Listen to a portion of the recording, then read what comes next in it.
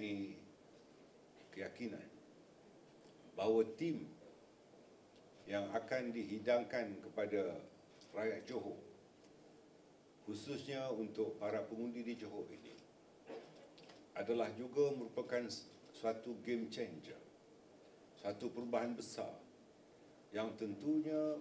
akan memberikan harapan baru untuk negeri Johor keseluruhan.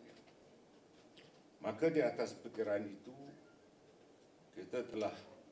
melihat beberapa kriteria untuk pemilihan calon ini di mana kita menggunakan konsep wali di dalam menentukan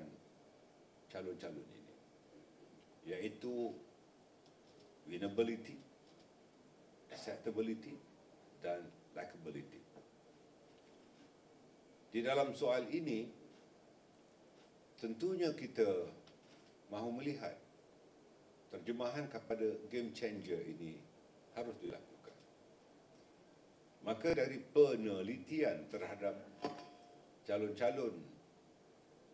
yang telah disenarai pendekkan dan dimuktamarkan, saya dapati Barisan Nasional pada kali ini akan menghidangkan calon-calon yang terdiri daripada golongan profesional dan juga mereka yang mempunyai kelulusan akademik yang baik. Kita telah menentukan penanda aras bahawa pada kali ini untuk negeri Johor, calon-calon yang akan dipilih terdiri daripada mereka yang turut memberikan harapan baru khususnya kepada pengundi-pengundi baru terutama yang pertama kali mengundi di negeri Johor ini. Dari segi kelulusan akademik, kita berazam dan kita berikhtiar bahawa calon-calon ini lebih daripada 80% terdiri daripada mereka yang mempunyai kelulusan akademik yang tinggi.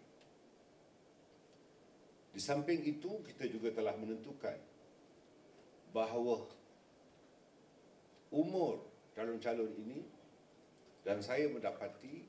daripada penelitian calon-calon yang telah dikemukakan kepada kami bahawa lebih 80% calon-calon ini terdiri daripada yang berumur 55 tahun ke bawah. Semoga tenaga baru ini akan dapat lebih bertenaga untuk memberikan khidmat yang terbaik bagi seluruh rakyat negeri Johor. Di samping itu, kita juga telah melakukan penelitian dan penanda aras yang telah saya perolehi khusus untuk negeri Johor ini di mana semua parti-parti komponen telah mengemukakan nama-nama itu dan saya meneliti bahawa lebih 70%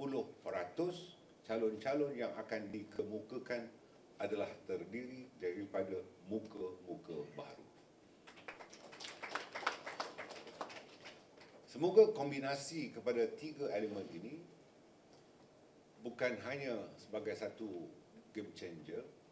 tetapi pada waktu yang lama kita juga pada waktu yang sama kita juga tidak melupakan mereka yang berke, yang berpengalaman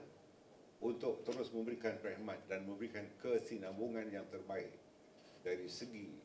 usaha-usaha untuk terus meletakkan Johor sebagai salah sebuah negeri di Malaysia yang utama dan dapat termaju di negara ini insyaAllah.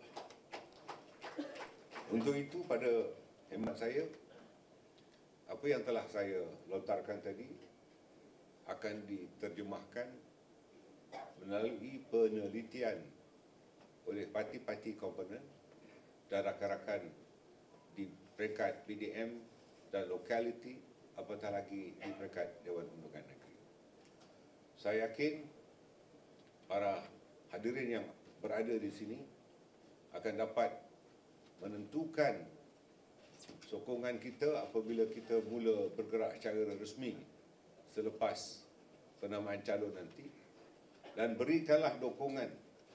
bahawa kita akan mengemukakan poster boy kita untuk mendapat perkenan bagi terus dilantik sebagai Menteri Besar Johor iaitu Yang Berhormat Datuk Mohamad. Dan insyaAllah siapa pun yang menjadi calon Barisan Nasional, semua parti-parti komponen akan bergerak sederap untuk menentukan bahawa jentera parti tanpa mengira parti mana kita datang di dalam komponen Barisan Nasional dan Friends of BN akan bekerja dengan bersungguh-sungguh mengenepikan titik bengik dan polemik atau perbezaan pendapat di kalangan kita. Yang penting, kita wajib memenangkan semua calon-calon barisan nasional di dalam pilihan raya.